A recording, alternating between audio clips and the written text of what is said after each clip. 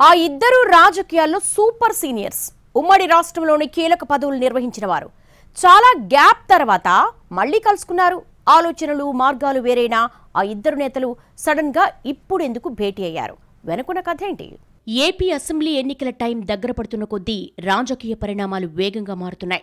కొందరు సీనియర్ నాయకుల అడుగులు చర్చనీయాంశమవుతున్నాయి. చాలామంది నవ్ ఆర్ నెవర్ అన్నట్టుగా నిర్ణయాలు తీసుకోవాల్సిన పరిస్థితి వచ్చింది. దీంతో వివిధ పార్టీలకు చెందిన కీలక నాయకుల అడుగులు ఆసక్తి రేకెత్తిస్తున్నాయి. తాజాగా అనంతపురం జిల్లాలో ఇద్దరు నేతల మీటింగ్పై హాట్ హాట్ చర్చ నడుస్తోంది.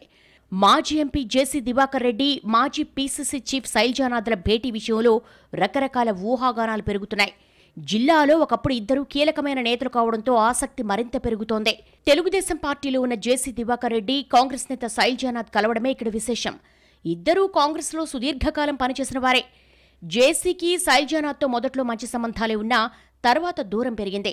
వైఎస్ రాజశేఖర రెడ్డి రెండోసారి ముఖ్యమంత్రి అయ్యాక దివాకర్ రెడ్డికి మంత్రి పదవి రాలేదు. అదే సమయంలో శైల్జానాథ్కు వచ్చింది. రాష్ట్ర విభజన తర్వాత జేసీ కాంగ్రెస్ నుంచి టీడీపీలోకి జంప్ అయ్యారు. రెండు వేల పంతొమ్మిదిలో ప్రత్యక్ష రాజకీయాల నుంచి తప్పుకొని తన కుమారుణ్ణి అనంతపురం పార్లమెంట్ నుంచి పోటీకి దింపారు. ఆ ఎన్నికల్లో జేసీ పవన్ ఓడిపోవడం వైసీపీ అధికారంలోకి రావడంతో పరిణామాలు పూర్తిగా మారిపోయాయి.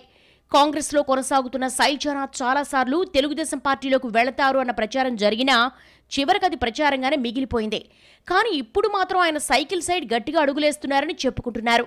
ఈ పరిస్థితుల్లో ఇద్దరి మీటింగ్ ఏపీ రాజకీయ వర్గాల్లో చర్చనీయాంశంగా మారింది. ఈ విషయంలో ఇద్దరు నాయకులు ఎలాంటి ప్రకటన చేయలేదు. కానీ శైల్జానాథ్ టీడీపీలోకి వెళతారన్న అనుమానాలు మాత్రం పెంచింది మీటింగ్.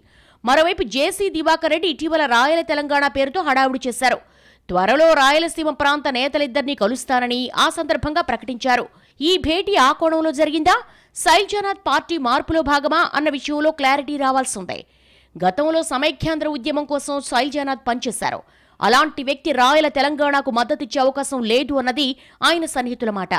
తమ కుటుంబాన్ని ఇబ్బంది పెడుతున్న వైసీపీకి వ్యతిరేకంగా దివాకర్ రెడ్డి పావులు కదుపుతున్నారని అందులో భాగంగా కలిసి ఉండొచ్చన్నది మరో వాదన. ఏది ఏమైనా ఈ ఇద్దరు సీనియర్స్ మీటింగ్ విషయంలో మాత్రం జిల్లా వ్యాప్తంగా విస్తృత చర్చ జరుగుతోంది. వైసీపీకి వ్యతిరేకంగా బలమైన వర్గాన్ని తయారు చేస్తున్నారా అన్నది రాజకీయ వర్గాల్లో పెరుగుతున్న అనుమానం.